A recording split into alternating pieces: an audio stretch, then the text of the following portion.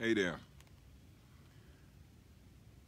I've made a, uh, a vow or a promise to myself that every time I experience or feel a good or even an emotion um, during this journey that I would stop and share that emotion and share what I feel and just be led.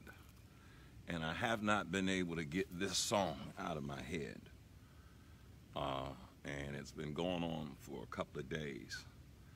And so this is going to bless you. Now, for some reason, when I look at my image of what I'm looking at, it's reversed. So I don't know if it's going to be reversed when you see it or not. I have no idea. Uh, I'm just doing this because I'm being led.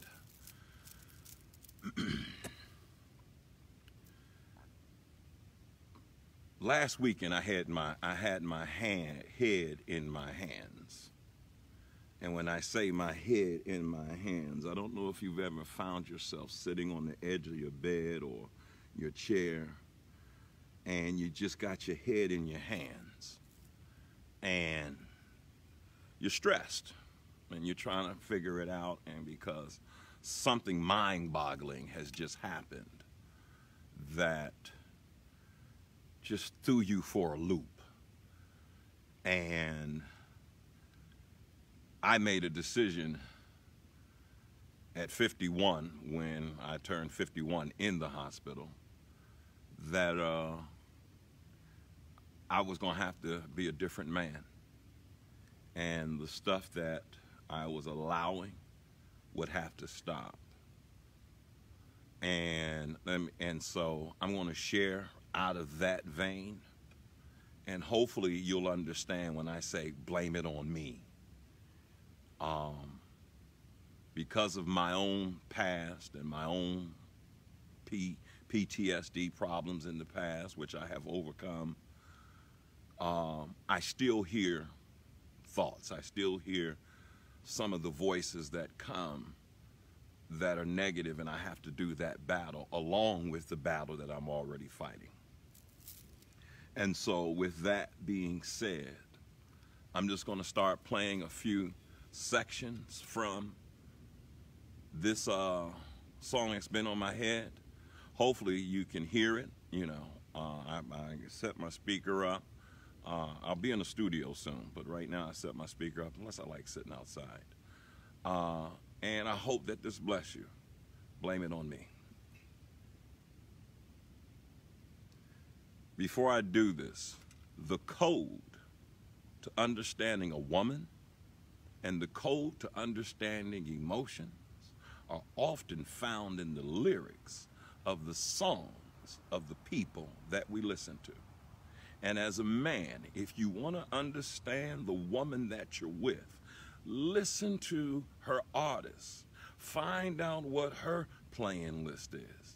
Find out what her favorite songs and listen to those songs because often you'll find out what she really likes. And if you get really good, you can talk to her about it.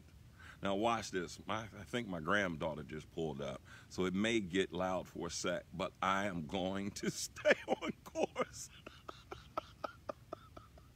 and so, number one, number one, uh, and you're going to hear me yell, Lita, I'm recording. So she'll understand. Number one. Ain't that something?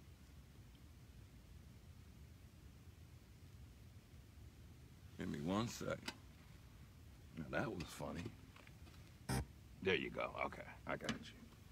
Here we go. Put it down.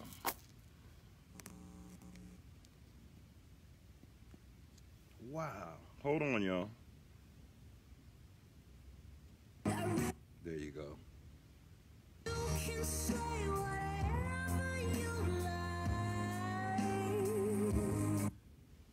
This is Chrisette Michele. And the first thing she says is, let me turn it if you can see it. She says,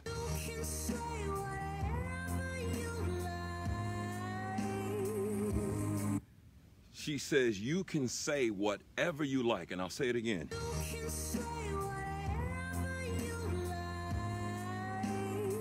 See, because there comes a time when they, and I underline you, you can say whatever you like. See, there comes a time when you're a giver, when you're a person who has been point, you're a person who has been strong, when you're a person who has been on top of things, but then you begin to experience you know, a little bit off kilter or whatever and then you're hoping that the other person in the relationship will carry you or carry the relationship as you're moving forward. But then you have a break. You have this final incident, or you have something uh, where a offense happens, and offenses are bound to occur. But with this person or this group of people, it's been to the point that you've done everything you can to try to show them that you're a good person and show them that you're really into it for, with them. And you want to show them that you're really into it with them. And it gets to a point that you end up saying, once the situation happens, you're no longer afraid and you say,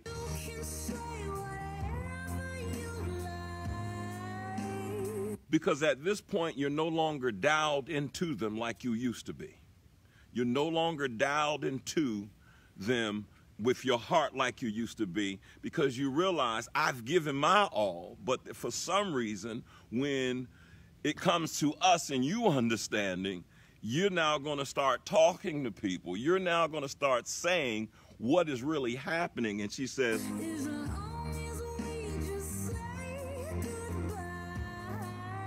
She said, now, as long as we just say goodbye. Now, I normally do PowerPoints, but I felt led to do this. As long as we just say goodbye.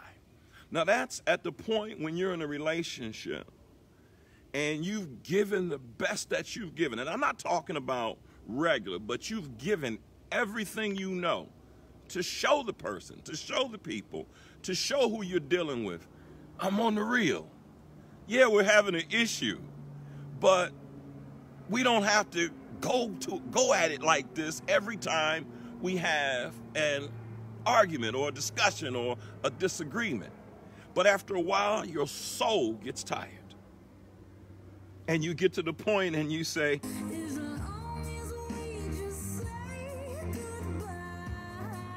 because by this time she is sending you a signal to say, hey, listen, at this point, I used to care about what you're talking about but at this point, I can't anymore.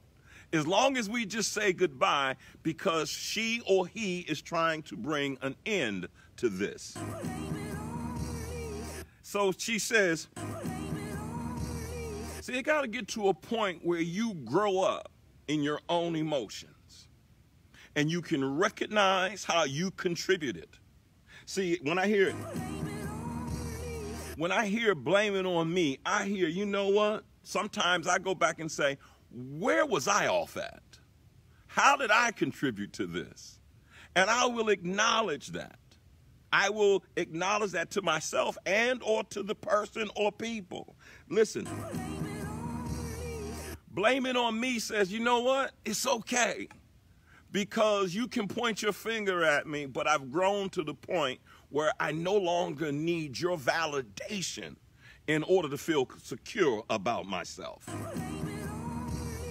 Go ahead, blame it on me. Although I know the whole story, I know everything that has happened between you and I. Because it gets to a point where you don't care anymore. That's growing up. And it's not I don't care because I don't love you. I don't care to care anymore. I don't care to carry your care anymore. I've got to live. And I had to make a decision a few years, a couple of years back or so. I got to live with me. I got to do for me. I've given to everyone, but blame it on me. I'm not talking to as many people as I used to. Why? Because I need to save my energy to live. You ain't no different than me. And you got to ask yourself, why am I going through this? Next thing.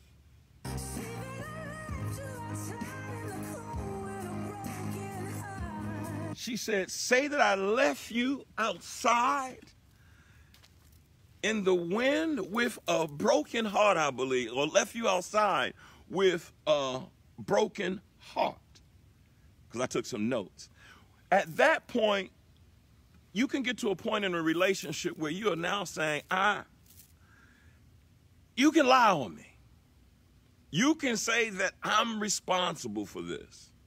Because at this point, all I want is the mental and psychological pain to stop.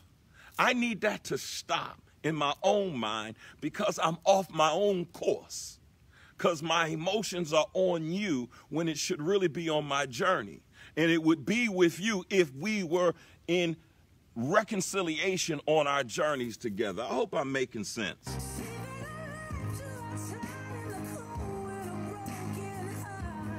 See, sometimes you have to understand people will say things to manipulate other people into believing something about you. But you have to know when after she said, "Blame it on me," I, I know, say it's my fault.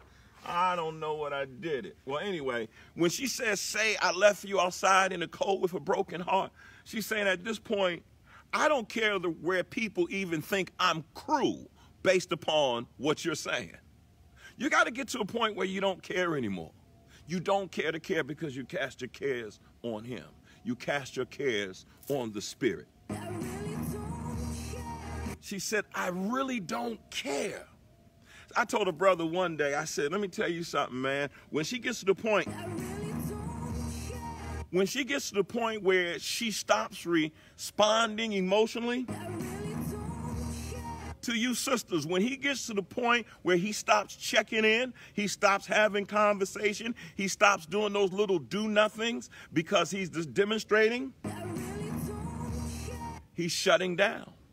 And what I realized about four days ago, I said, I'm getting ready to shut down because I felt myself getting ready to close in. And I said, no.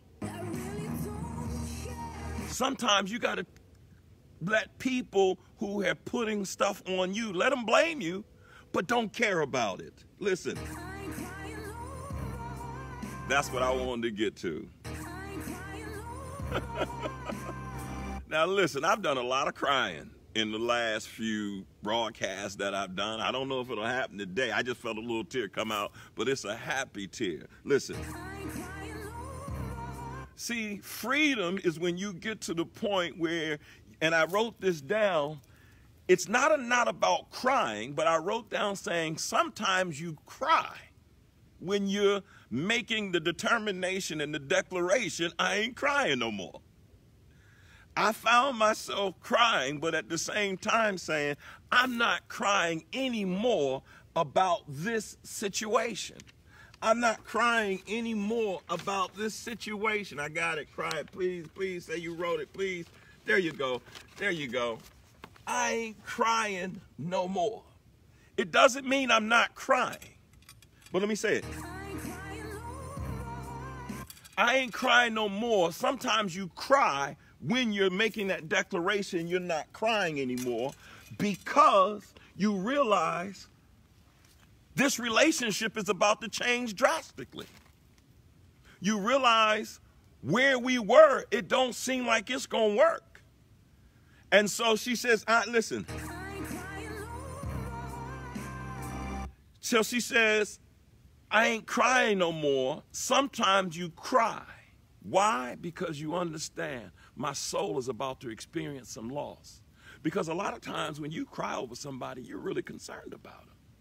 And brother, when a sister tell you she ain't crying over you no more, you better understand she's already gone within herself to decide I'm not crying. Let me keep going.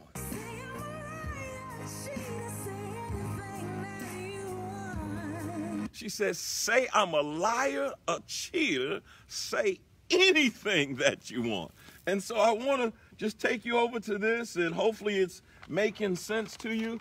She says, Say I'm a liar, a cheat, say anything that you want. And I to say, Say I'm a liar.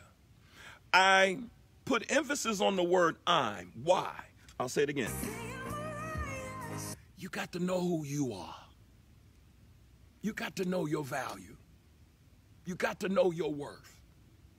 And you got to get to a point where you don't care what people say. You know who you are. You know what you give. You know what you gave up. You know how you tried to do the right thing. You know how you did the right thing even when the other party wasn't doing the right thing. Listen.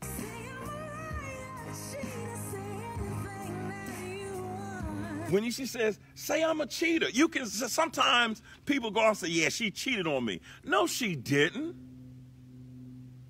No, he didn't. Y'all broke up. And they waited and they waited and they waited and they waited. And then finally they decided, I'm going to go out with somebody. I'm going to talk to somebody else. But instead of swallowing your pride to say we couldn't get along, you now say, you know, that person she with or that person he with, they cheated. Come on, they didn't cheat. You cheated. That's how you got to let them know. They cheated. You cheated the relationship by not giving it your all. I'm almost finished, guys.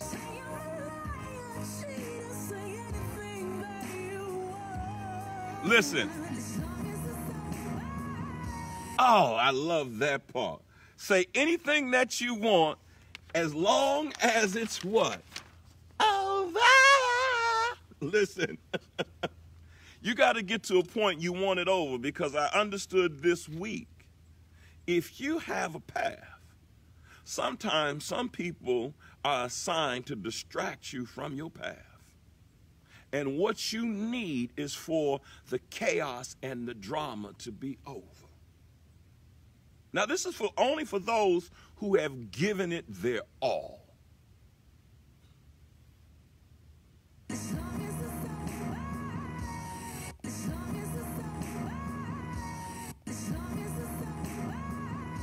As long as it's over, sometimes you just need that drama to be over with. You need that pressure in your head to be over with. And she says this. She said, Yes, I love you, but I really got to lose you. There's sometimes you realize I love you, but I got to lose you because I got to love myself. I'll say it again. She said, Yes, I love you, but I really got to lose you. Why? Because she's saying I'm distracted throughout the day. I'm having bad thoughts throughout the day. My stomach hurts throughout the day. I'm tired of seeing people happy and I'm not happy throughout the day. I'm, I'm tired of coming home doing all the work and you ain't did nothing throughout the day. I'm tired of watching you look at ESPN and play PlayStation and stay in the basement and stay in your cave. I'm tired. She says, listen. I love you, but I really got to lose you. I'll never forget when Jill said, Deron, I love you, but I can't go through this no more. I can't. I love you, but I can't go through this no more. That was a few years back, and maybe last week, I don't know.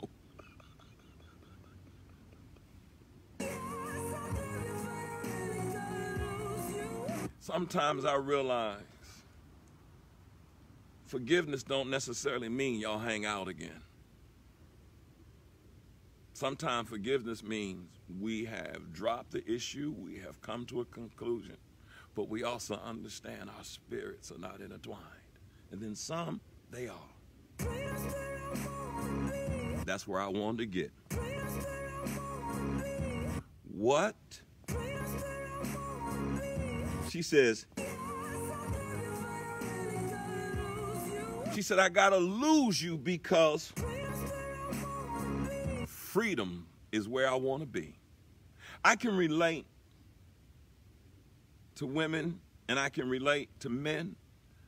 I, I'm in touch with my feminine side. I played a female character. I used to a long time ago. I ain't doing it no more. At least I don't think I am. It's a tyrant.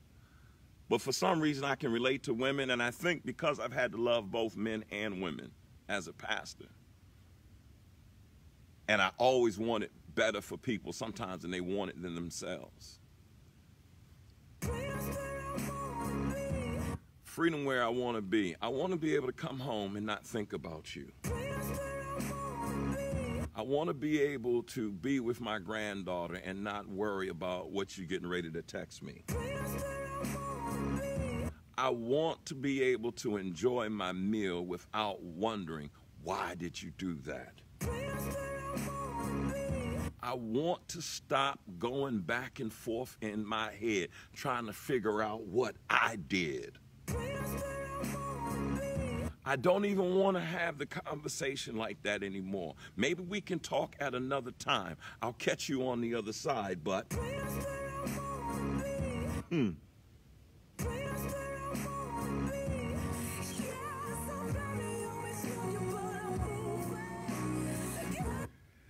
I know I'll always love you, but I'm moving. Freedom. Took me a long time to get to it. And freedom ain't just pumping your fists. Freedom is having internal peace. Internal peace. Where you love yourself the good, the bad, and you never judge a woman or a man's journey until it has ended because you don't know what's going on in the middle. I'm still alive. That's why I wear my red glasses and my red scarves and my purple coats and all. I don't care. Yeah, I really can't see. I wear the red glasses because I was cussing people out. and then one day I read the Bible and I saw all of Yeshua's words were in red. And I said, Deron, if you're going to stop cussing these people out, and I listen, I have a reputation as the cussing pastor, and be careful, don't catch me at the wrong time. It may be the medication. Psych. I just want to be free. And when you're free, you stop caring. My mentor called me every other day, Dick Gregory. And I'm going to give you something he gave me. He said, Deron, because I was going through with a very significant person in my life.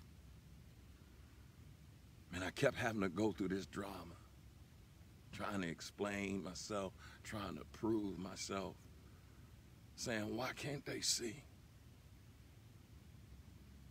And so I told Dick Gregory, and I said, hey, Dick, this is what's happening. Was a relative. This is what's happening. And he said to me, the person you're concerned about ain't nothing but a blip on your screen. Then he said it this way. They are nothing but a credit at the end of your movie.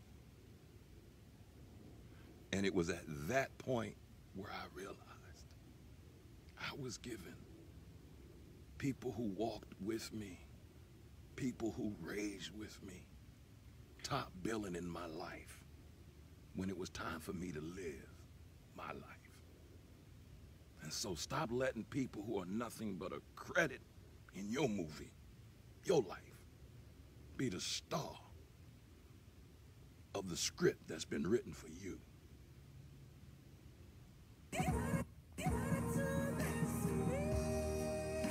She said,